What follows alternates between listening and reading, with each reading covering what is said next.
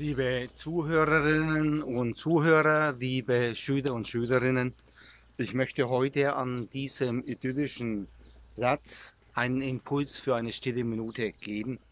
Äh, wir sind unten an meinem Grundstück an der Gollach. Das ist ein kleines Bächlein, das bei uns hier in Utzenheim entspringt.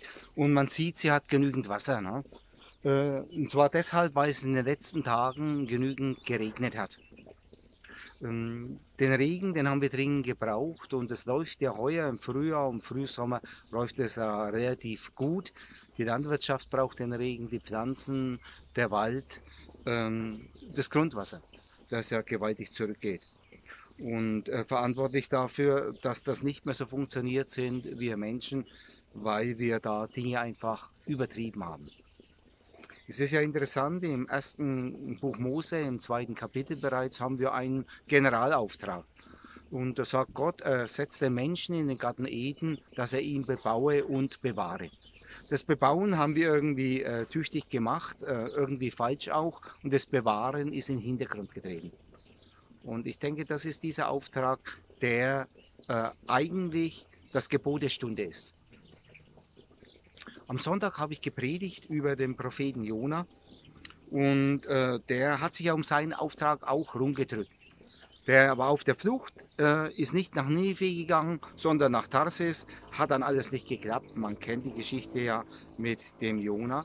Und schließlich geht er nach Ninive und äh, zu seiner großen Überraschung, die Leute in Ninive hören sich seine Kritik an und ändern sich.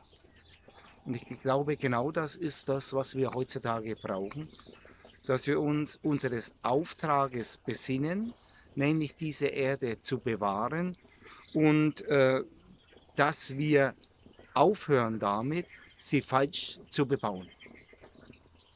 Und diesen Gedanken mit der Frage, was kann ich als Einzelner in meinem Bereich dazu tun, dazu beitragen, mit dieser Frage können wir ja in die stille Minute gehen und das einfach mal in uns wirken lassen und darauf hoffen und vertrauen, dass sich da vielleicht etwas auftut, wo ich in meinem persönlichen Leben etwas anders machen kann, sodass äh, die Schöpfung etwas davon hat.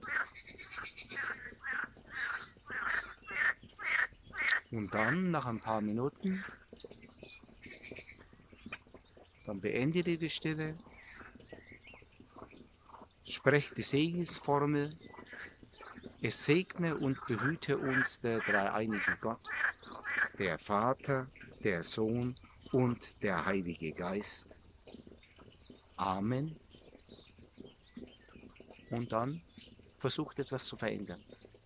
Im Kleinen, in eurem Leben. Tschüss.